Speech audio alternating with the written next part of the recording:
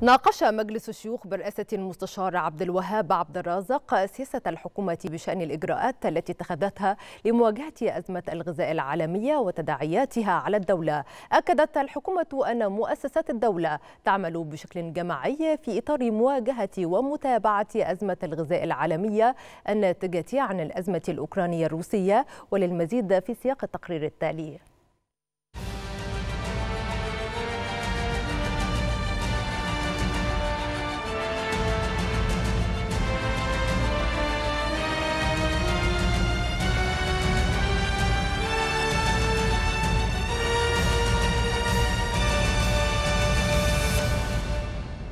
جلسة جديدة عقدها مجلس الشيوخ برئاسة المستشار عبد الوهاب عبد الرازق لمناقشة الموضوعات المدرجة على جدول أعماله. بدأت الجلسة بمناقشة استيضاح مقدم من عدد من النواب فيما يخص سياسة الحكومة بشأن الإجراءات التي اتخذتها لمواجهة أزمة الغذاء العالمية وتداعياتها على الدولة. يرتبط الأمن الغذائي لأي دولة ما ارتباطا وثيقا بالأمن القومي لمجتمعها ويشكل الصراع الروسي الأوكراني الذي بدأ 24 من فبراير الماضي ضمن عوامل أخرى أكبر التهديدات للأمن الغذائي العالمي ومثلت أكبر صدمة اقتصادية عالمية منذ عقد من الزمن.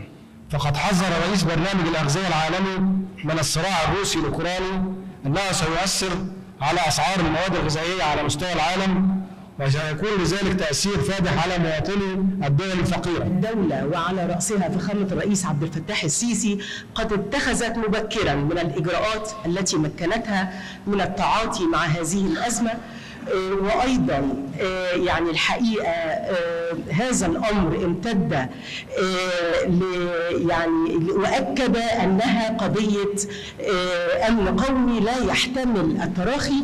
وهي ذات الاستراتيجية التي تبنتها كافة الجهات المعنية في الجمهورية الجديدة. السيد الرئيس وجه بإقامة معارض كبيرة على مساحات من الأراضي داخل المحافظات. إحنا محتاجين نعرف استراتيجية الوزارة في التشبيك كمان مع الوزارات الأخرى.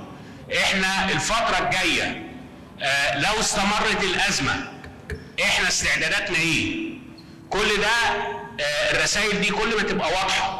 وبلغة سهلة يمكن للمواطن البسيط إنه يفهمها ويطمئن ليها أظن إن ده هيبقى ليه أثر كبير جدا في السلم الاجتماعي داخل الدولة. وخلال المناقشات أكدت الحكومة أن مؤسسات الدولة تعمل بشكل جماعي في إطار مواجهة ومتابعة أزمة الغذاء العالمية الناتجة عن الأزمة الأوكرانية الروسية، مؤكدة أن مصر لديها قدرة وخبرة في التعامل مع الأزمات الداخلية والخارجية. وفي نهاية الجلسة قرر المستشار عبد الوهاب عبد الرازق إحالة طلب المناقشة إلى لجنة الصناعة والتجارة والمشروعات الصغيرة والمتوسطة لإعداد تقرير بشأنها. هذا ورفع المجلس الجلسة على أن تستكمل باقي جلسات مجلس الشيوخ ومناقشة طلبات النواب في جلسة قادمة.